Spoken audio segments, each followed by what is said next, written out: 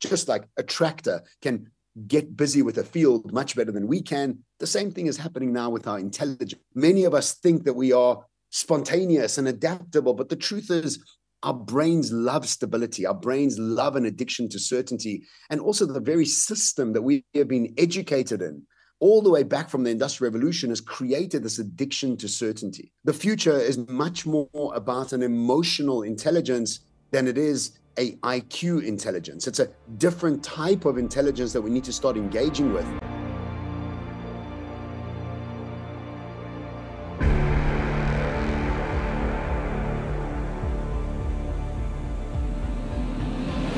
I'm going to be doing a very quick talk around the ability to see beyond tomorrow. And this is really what we all need to be doing, no matter where we are in the world, is preparation for the future. But in order for us to do that, let's understand exactly what's going on in the world at large. And what we see right now is this incredible transformation that we are going through. And if I had more time with you, I'd explain to you that we have about eight different cycles, all ending at pretty much the same time. That's why there's so much chaos in the world, and that's why there's so much change in the world. But all transformations, no matter how small or how large, always have three phases. And the first phase is always sadness because it's sad to leave the shore of familiarity. It's sad to leave our comfort zones. And sometimes it's sad to leave our identities that we have spent hundreds of thousands of dollars and decades creating. And when we leave the shore of familiarity, we have to now arrive at the strange world, which is kind of what we are beginning to experience now as we start to move into this new strange world. But the problem is, is that if we don't process our sadness, it shows up as anger. It was Dr. Caroline Leaf who said it best. She said, I sat with my anger long enough until she told me her name was grief. And so we have a world today that hasn't processed sadness, that is arriving at a strange new world, not excited, not fascinated, and not curious about it, but usually quite fearful of it. And so the future is much more about an emotional intelligence than it is a IQ intelligence. It's a different type of intelligence that we need to start engaging with. And we all know that the process of moving through this transformation is an emotional one. We have to go through the processes of denial and anxiety and anger and frustration for us to get through the transition, for us to move into the process of creativity and hope and energy. But the direct way of getting there is not an option. And we have to go through the emotional phase of the process of letting go to be able to pick up on this new world around us. And in the next few years, we will again pick up to the third phase of a transformation, which is adventure, where we will again get wind in our sails, we'll understand who we are, we'll understand the world ahead of us. But in this phase right now, we are squarely between sad and strange. And we need to become okay with that because there is a lot of change ahead of us. But also, let's remember that schooling, organizational structures, um, universities, all of these things have been sort of set up based on stability. In fact, maybe even an addiction to certainty. And many of us think that we are spontaneous and adaptable, but the truth is, our brains love stability. Our brains love an addiction to certainty. And also, the very system that we have been educated in, all the way back from the Industrial Revolution, has created this addiction to certainty. But we all know the future is about exactly the opposite. It's not about certainty, but it's about adaptability. And we have to understand what it means to be truly adaptable. You know, neuroscience is now sharing stats around the fact that we have between 60 and 70,000 thoughts a day, of which 90% are the same thoughts as yesterday meaning that the brain and the way the brain works is much more about stability than it is about adaptability. And so we almost have to rewire our brains to understand how to deal with this much uncertainty. And this addiction to certainty has actually created something called fragile optimism around the world. And what fragile optimism means is when things work out like I want them to, I'll be optimistic. And if they don't work out like I want them to, I'm going to sulk and be angry and be upset and be fragile in my optimism, which means that I'm not actually being adaptable. I'm being very addicted to certainty. And what we need to be developing is agile optimism, which means we are optimistic in our behavior, not based on an outcome, but just based on a behavior, which is very different to the way our brains actually work right now. And if we dive a little bit deeper, we'll see that fragile optimism is hooked into an insistence in the way things should be. And the way we need to be thinking about this is a persistence in our behavior towards whatever is ahead of us. And there's two quotes I want us to sit with and think about for a bit. And the first one comes from Albert Einstein. He says, No problem can be solved from the, solved from the same awareness that created it. And so we have to ask ourselves, are we changing awareness? Do we know what awareness is? How quickly are we able to evolve it and elevate it so we can start to see solutions ahead of us that were otherwise not available? And so the question we need to ask ourselves is what is my awareness? How do I go about changing it? And the second quote also helps us understand this process a little bit better from Alvin Toffler. He says, The illiterate of the 21st century will not be the ones who cannot read and cannot write, but the ones who cannot unlearn to relearn.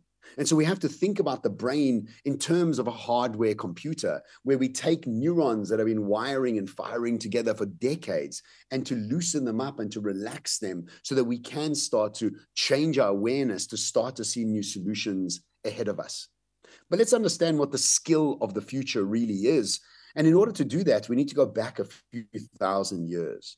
And we need to go back to the agricultural era and understand that in the agricultural era, for 10,000 years, for almost 500 generations, the rules that we followed were pretty much the same.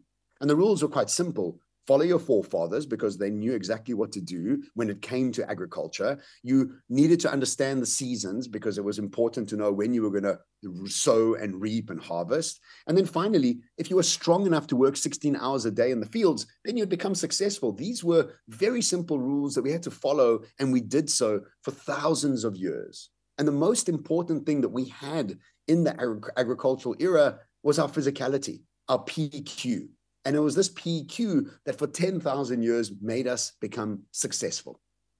And now what is starting to happen is that we're starting to see the rules change just like they did when we went from the agricultural era to the industrial era.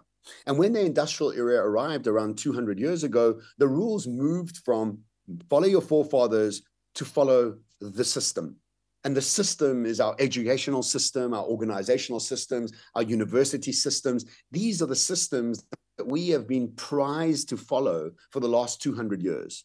And the better you follow the system, the more successful you'd become.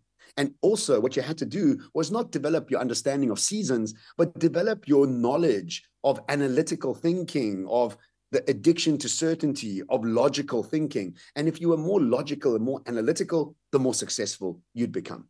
And you weren't working the fields anymore, but now what you needed to do is become a greater expert in your existing field. So if you became an accountant after school, you'd become a better and better accountant throughout the rest of your career. You wouldn't jump sectors, wouldn't jump jobs. That would look terrible on your CV in many ways. And so we realized we went from PQ, physicality, to IQ, which is intelligence quotient. And for the last 200 years, what we've done is we've celebrated this incredible IQ that our brains have been programmed into for the last 200 years.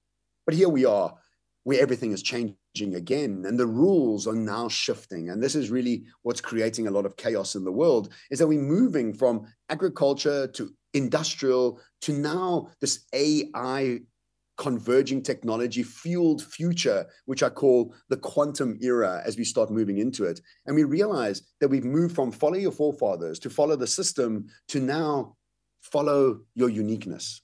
You see, intelligence is becoming commoditized. Algorithmic thinking is what computers can do really, really well. And it's what universities have taught us for the last 200 years is algorithmic thinking. That's what analytical thinking is. And computers can do them better, cheaper, faster, just like a tractor can get busy with a field much better than we can. The same thing is happening now with our intelligence. And so our uniqueness becomes our currency of the future as we start to see the commoditization of intelligence all around us. Also, it's not about doing one job over and over. It's not about increasing your skill sets as an accountant. It's about being dynamic and adaptable because everything is changing all the time. It's not about doing one thing, it's almost about doing many things all at once. And our brains need to be rewired for this in many ways. And ultimately, it's not about this constantly focusing on improving yourself in one way. It's really about the ability to unlearn, change your awareness, and be able to deal with agile skills in complex situations. Again, this is a very different skill set that we haven't really been taught. And so we realize that we've gone from PQ, physical quotient, IQ, intelligence quotient, and now we're moving into a creative generalist type of space and this is again not something that we've been taught, but being creative in many different ways, meaning that our brains need to be totally adaptable to the process, meaning that the skill of the future is not about what we know, but about how we engage with the world ahead of us. That's why the future is about adaptability. It's not about building an IQ, it's about building a machine in our brains that's able to unlearn and relearn and unlearn and relearn on a continuous basis, which makes our brain a very flexible machine rather than a machine that's in repetition mode, as it's always been for the last 200 years. And so we realize that AQ really requires us to have high levels of EQ. And EQ has so many different permutations and so many different meanings but the best meaning that I found about AEQ was this question that you need to ask yourself is what is emotional intelligence? Emotional intelligence is how quickly can you recover from a trigger? This is an emotional future that we're moving into. It's not an intelligent future. It's not a cleverer future. It's not a smarter future. It's a wiser future. Because in order to be adaptable, we can't be triggered into the past. And every time you get triggered, you're not adaptable. You're stuck in who you were. And if you think about Donald Trump, for example, he's triggered into the past. He's not thinking about the future. In fact, his payoff line for his presidency is let's make America great again, meaning I want to go back. I don't want to go forward. And so the future is about this emotional ability to not be triggered so that you are being adaptable in a way of engaging with the future in an excited, fascinating, and curious way rather than a space that is fearful, anxious, and frustrated at so much change ahead of us. But let's remember very quickly that if you are triggered for one to five days, you're just in a bad mood. And if you're triggered for six to 10 days, you just have a bad temperament. But if you triggered for longer than two weeks, welcome to your new personality. And now all of a sudden, you're always angry. You're always upset. You're always sad. You're always anxious. And people say, I suffer from anxiousness. Well, no, you don't. You just got into a trigger that you couldn't get out of. And so we have to realize that as we start to move into this future, and as I start to hand over to Richard, my good friend who's going to take you onto the keynote journey, we have to realize that this is not a time to be seeking comfort. This is a time to be seeking discomfort. This is a time for us to think about our brains in brand new ways, for us to become adaptable, not focused on intelligence, but focused on the ability to unlearn and relearn as quickly as possible. I'm so happy to be here with you, and I'm so sorry I'm not here with you in real life. But my name is John. Please find me online. We'd be happy to chat with you, but I'm open here for a Q&A. So please, over to you. Thank you, Thank you very much, John. Thank you. I've uh, I've picked uh, one question that was submitted uh, by somebody in the audience because we have a online form, and I think is uh, it's a very good question, and it will be the only question I will have for you. So, the question is the following: Since this morning, uh, from all the presentations we have, you, we have been hearing increasingly complex trends quantum computing, uh, artificial intelligence explosion, behavioral uh, changes in our uh, way of uh, working, living, and so on and so forth. How can we keep up with those trends if this is not our job, as in your case? um, so, mega trends to follow, and uh, maybe a very practical advice on how much we must invest in uh, educating ourselves and how to do that because it seems like it's a full-time job. We need to compete with the exponential growth of everything around us and uh, people are uh, feeling overwhelmed? Please. Yeah, excellent question. Uh, firstly, let me tell you, I do not stay on top of all the trends. I mean, I have some trends, but there's just far too much for anybody to try and keep okay. up with. I mean, I saw a stat the other day that said there's 2,000 AI tools launched every day. And that's even before AI starts writing AI, which means that that number will go to 20,000 and 40,000 soon. What we have to realize is the first thing we have to realize is that we can't compete IQ to IQ so we can't compete on that level. So we shouldn't start to try. What we should be doing is accessing our human potential, our genius, our passion, our curiosity, who we are as an individual.